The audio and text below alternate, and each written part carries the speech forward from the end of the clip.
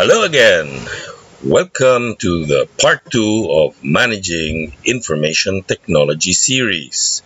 Today we'll be talking about portfolio management. Now it is said that project management and portfolio management differ in that project management means doing things right, while portfolio management actually means doing the right things. Um, why is that? That's because project management teaches you how to do the proper things in managing a project. In portfolio management, what one learns is really how to select the correct projects to do and to give it sufficient importance in alignment with the company's overall strategy. Imagine the situation where you're given a bunch of projects to manage, the resources for in order to do that, and you're told to actually make these projects perform. That actually is an example of portfolio management. Or another situation, you're handling operations and suddenly you're given projects related to those operations and told to actually manage these as well. That's another example of portfolio management at work. Now, in essence, portfolio management is nothing more than what is shown in this slide, wherein the portfolio manager has projects as well as operations underneath him. These may be further subdivided into sub portfolios with their own manager and in general, in an IT organization, the overall portfolio manager is really the CIO. The overall portfolio manager in a company would be the CEO, and the CEO would also have his own set of portfolios. Now, typical portfolio manager questions would be things like which components in my portfolio are really priority? What resources do I allocate to them? Are there new projects or do I have to come up with a new operation line that I need to create?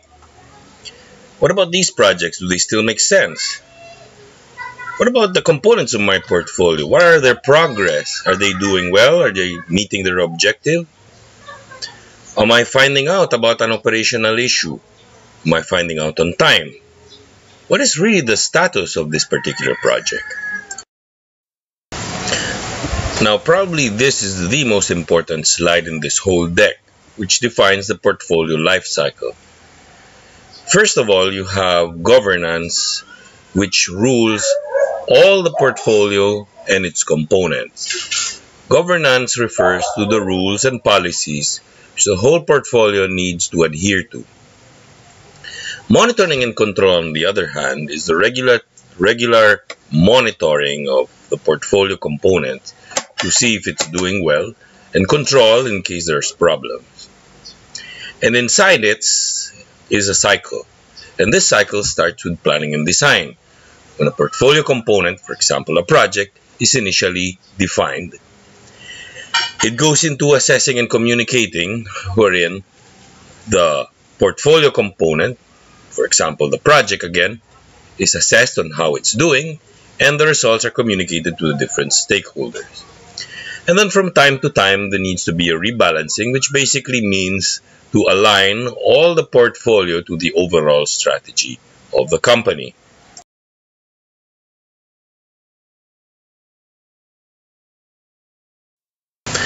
Now let's go to each of these. Let's start with governance. And what is governance? Governance really is all the rules, all the policies by which all the portfolio components need to adhere to. And this gives an idea of what can be done and what cannot be done and what needs approval and by whom.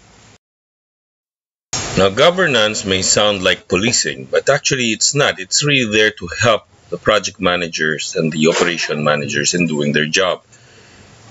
Let me give an example or several examples where governance comes into life. For example, a project runs into problems and the project manager's first question is, who do I run to for help?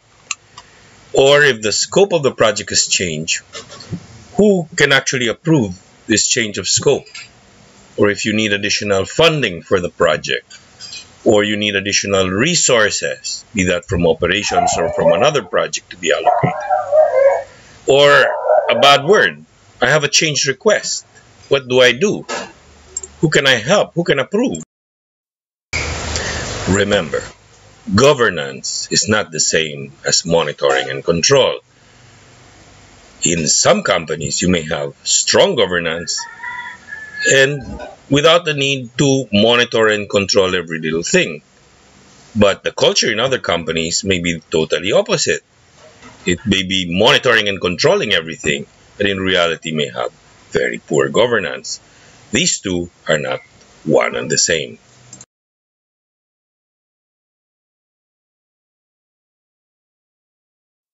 So what about monitoring and control?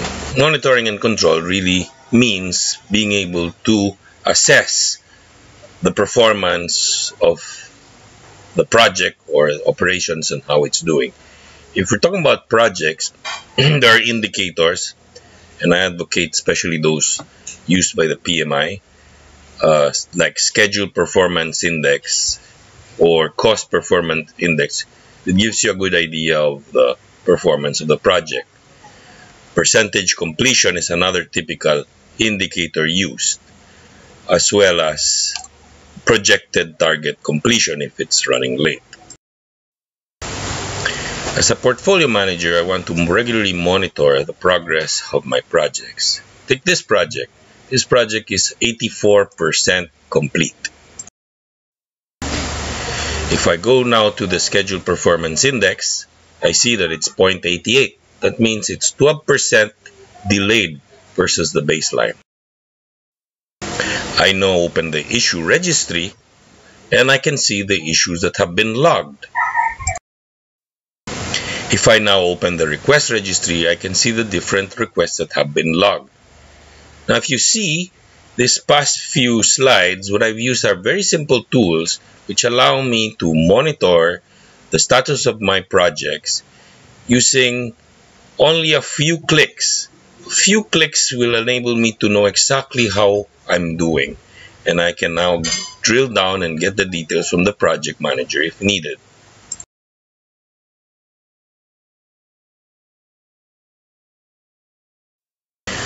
Now let's go into the cycle, the cycle by which a portfolio lives. Firstly, is what we call planning and design. Planning and design starts when each component of the portfolio is defined.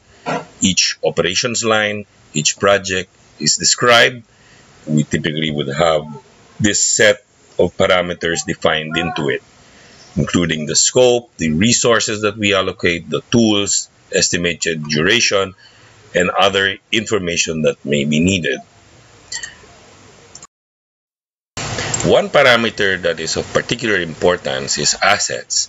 Assets refers to people, to tools. In the IT world, this generally refers to hardware and software.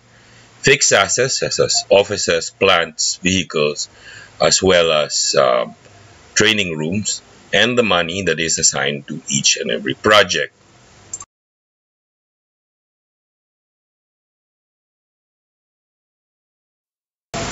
Another regular process now would be portfolio assessing and communicating. And this is where the performance of the portfolio components is measured and reported. Typical metrics may be financial, such as ROI and PV, but IT projects are particularly difficult to measure in this way. So we usually refer to SPI, CPI, as well as other parameters that may be relevant to the business. This will also involve a communication plan wherein the different stakeholders are informed of the performance of the portfolio. Um, this is done on a regular basis, and the best way of communicating to each stakeholder is also defined. Sometimes this plan may not be defined explicitly, but it's implicitly understood by each and every one of the project managers or operation managers involved.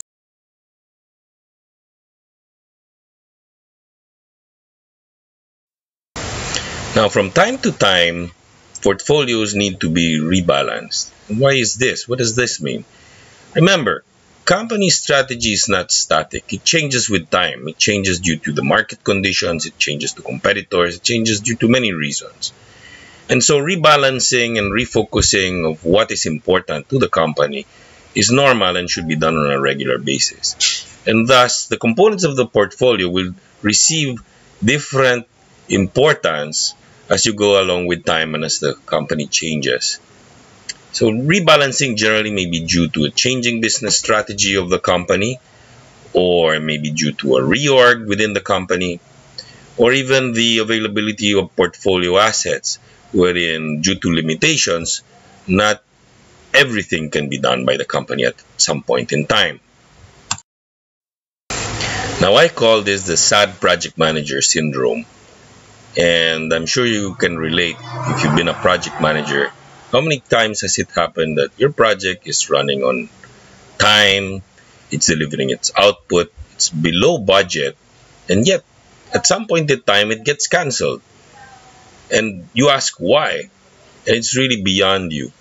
And it's simply because the strategy of the company has changed, and the importance of this project is not as much as it was before. And so, in summary, a portfolio manager has a very important job. He's the one that aligns the priorities of all the projects and operations that he handles with that of the company. We have to remember that our assets are really limited and they need to be optimized in their allocation, whether those are people or funding. It's also the portfolio manager's job to seek for additional resources and manage the expectations of the shareholders if these are not met. Um, seeking for additional funding, people, or even time. Well, that's all for now. If you need more information, uh, I can refer you to my book called Managing Information Technology, available on Springer and Amazon. So for today, I'm calling it off from this tropical island. Bye bye.